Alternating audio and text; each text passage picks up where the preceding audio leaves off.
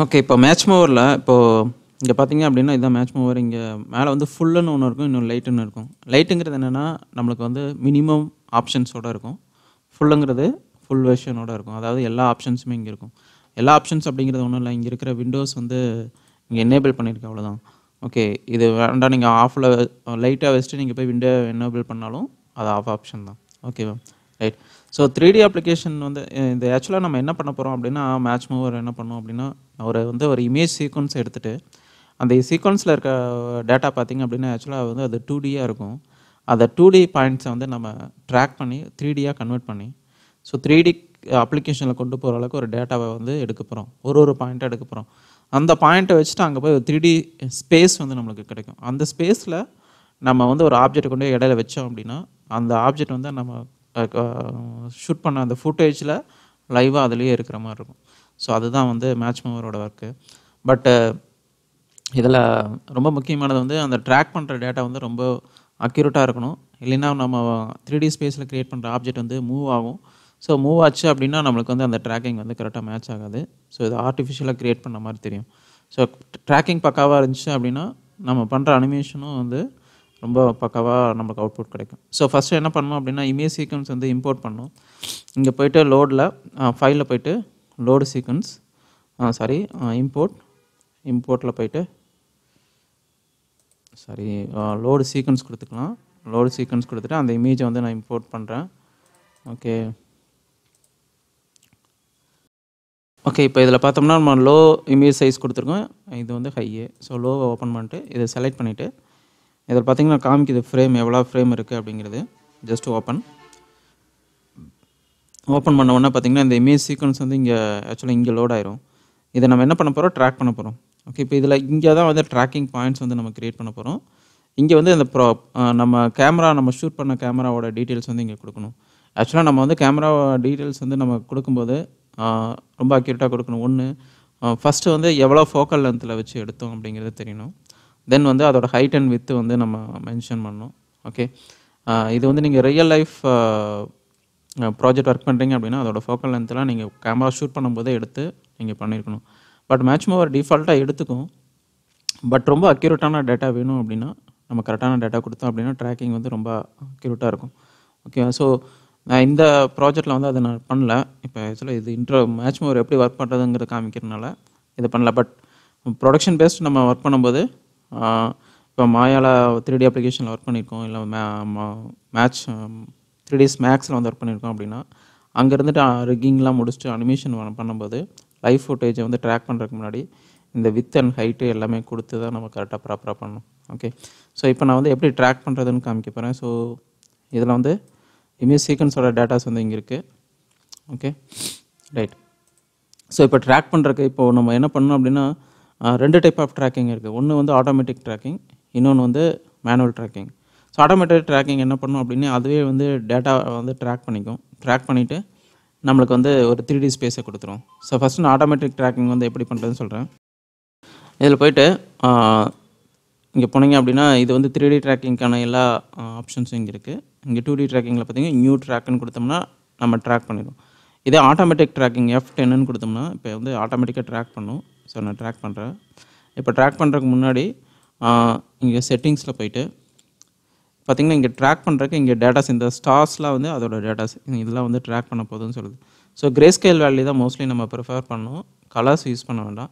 ஏன்னா grey scale value வந்து அதிகமான டேட்டாஸ் வந்து எடுத்துக்கும். கம்பேர் பண்ணும்போது அதாவது கலர்ஸ் கூட கம்பேர் பண்ணும்போது. கிரே ஸ்கேல் எடுத்துக்கோங்க. ஸோ மேக்ஸிமம் ட்ராக் லென்த்து அதாவது இது என்னென்னா டென்னுங்கிறது என்னென்னா இப்போ ஒரு ஒரு ட்ராக்கிங் பாயிண்ட் வந்து ஜீரோலேருந்து ஸ்டார்ட் ஆகுது. டென் வரைக்கும் முடியுதுன்னு வச்சுக்கோங்க. அது வரைக்கும் இருக்கிறத மறுபடியும் கண்டினியூ பண்ணிகிட்டே போகும்.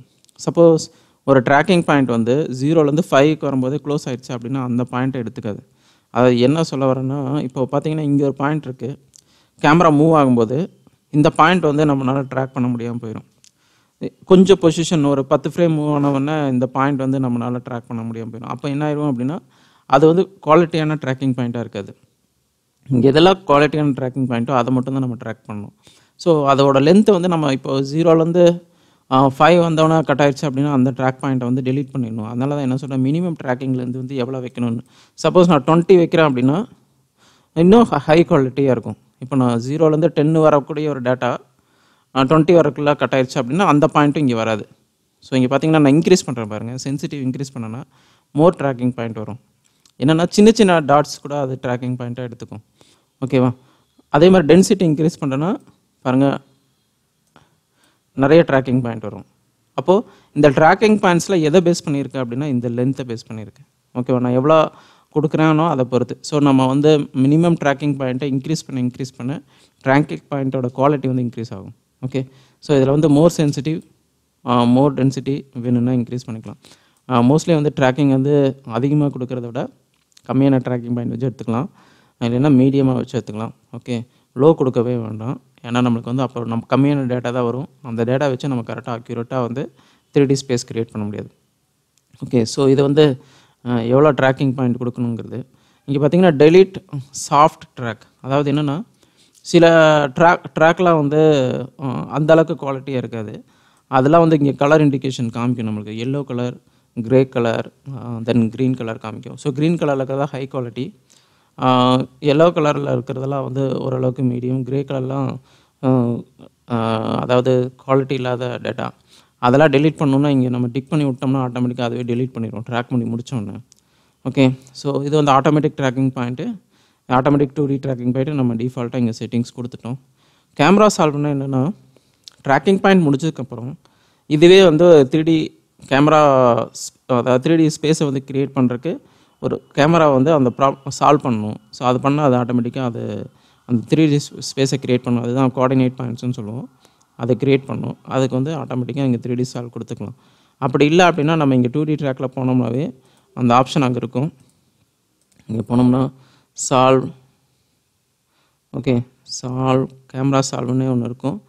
ஓகே சால்வ் ஃபார் கேமரா அப்படின்னு கொடுத்தோம்னா ஆட்டோமேட்டிக்காக தனியாக சால்வ் பண்ணிக்கலாம். பட் இங்கே வந்து நம்ம ஆட்டோமேட்டிக் ட்ராக்கிங் பண்ணுறதுனால இந்த ஆப்ஷன்ஸ் எல்லாமே நம்ம டிஃபால்ட்டாகவே கொடுத்துட்டோம் அப்படின்னா இப்போ ரன் ஆயிரும்.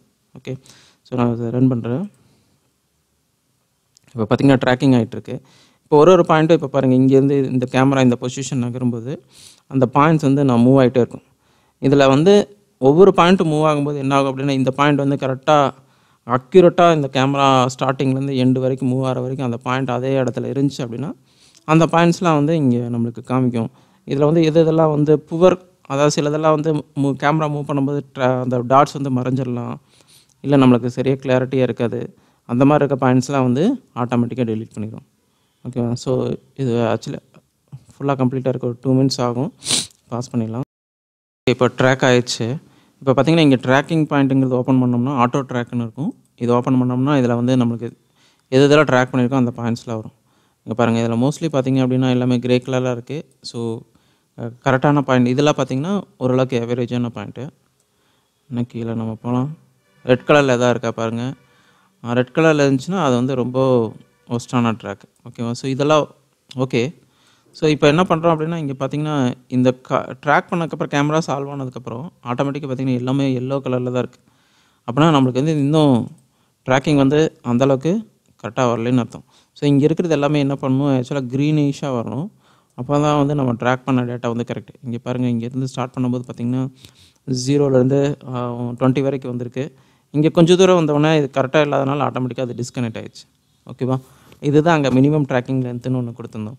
இதில் பாருங்கள் நமக்கு எல்லாமே முடிஞ்சது பார்த்திங்கன்னா இங்கே ஒன்லேருந்து ஜீ ஜீரோலேருந்து டுவெண்ட்டி இங்கே பாருங்கள் இது ஜீரோலேருந்து டுவெண்ட்டி இது ஜீரோலேருந்து எயிட்டி அதுக்கப்புறம் கண்டினியூ ஆகாதனால அதை ரிமூவ் பண்ணிடுச்சு.